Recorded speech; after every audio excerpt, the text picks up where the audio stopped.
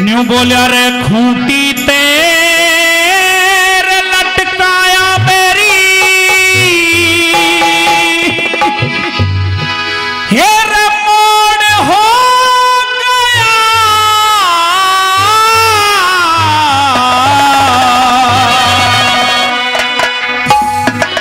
और बादल के संग में खाली चित्तौड़ हो गया।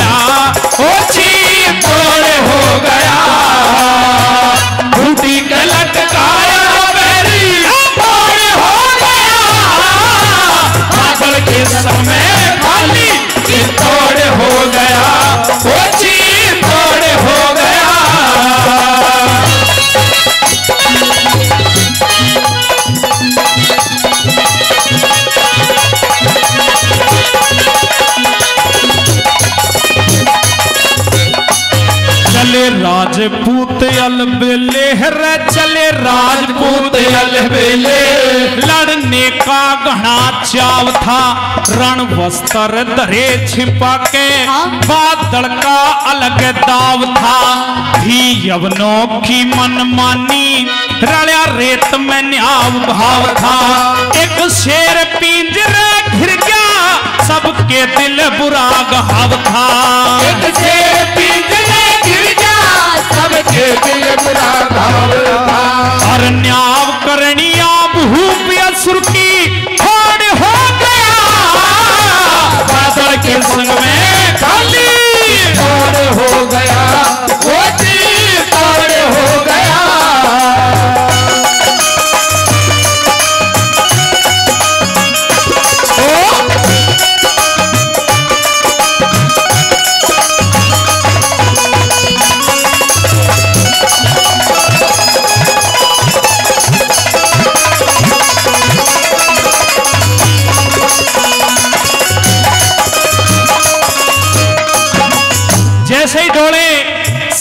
करके चित्तौड़ से बाहर हुए तो रानी पद्मावती आ जाती है।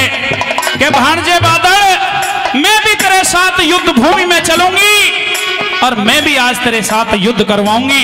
लेकिन मना कर देता है वो छत्री मामी, जब तक हम ज़िंदा हैं, तुम्हें रणभूमि में जाने की ज़रूरत नहीं। क्या दूसरी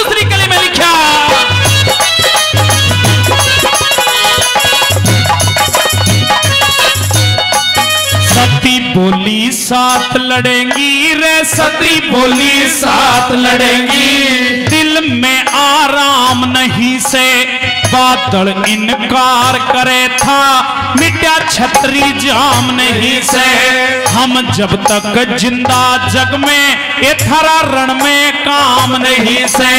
दे तकत बदल दुश्मन का, हमारा कम इंतज़ाम नहीं से। तकत बदल दुश्मन भारत हम इंतज़ाम नहीं फिर चौदह सौ महावीरों का फिर चौदह सौ महावीरों का जोड़ हो गया। के संग में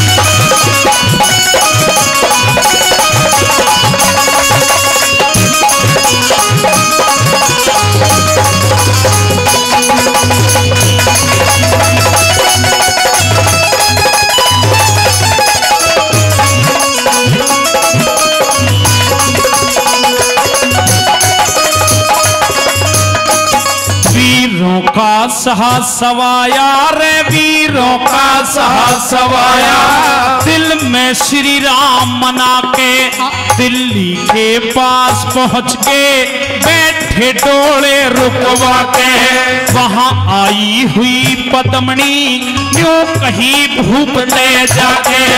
एक लहर खुशी की जागी खिल जी चाल्या मुस्का के लहर खुशी की जागी चाया मुस्काने फिर बादल बदला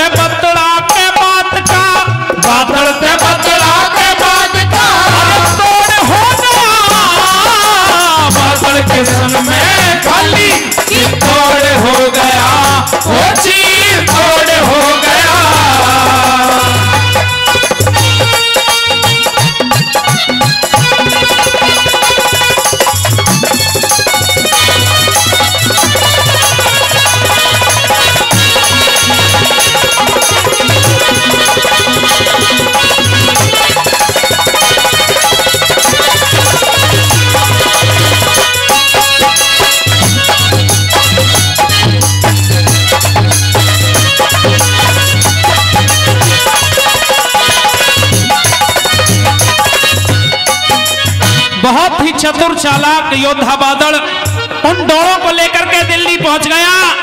दिल्ली के बाहर डोले रुकवा दिए। अलाउद्दीन खिलजी को खबर भिजवा दी कि रानी पद्मावती का डोला आ चुका है। और महाराज, हमारे हिंदू धर्म में एक नियम है। पहले आप राणा रतन सिंह को लाइए।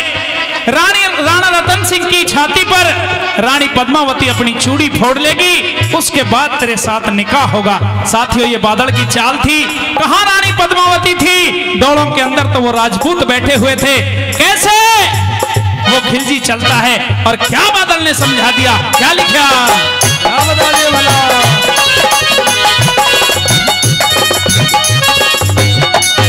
कही बादल ने समझ हके रे, कही बादल ने समझ हके जब नई प्रीत जोड़ेगी, जो रस्म रिवाज पुराने ये हरगिज ना छोड़ेगी। निज पालम की छाती पे पहले चूड़ी फोड़ेगी। फिर फेंके चीर कुएँ में तेरे पुरखे ने ओढ़ेगी। तेरे फेंके चीर कुएँ में तेरे भूखे में उठेगी और कहे जे करण राम धर्म का, कहे जे करण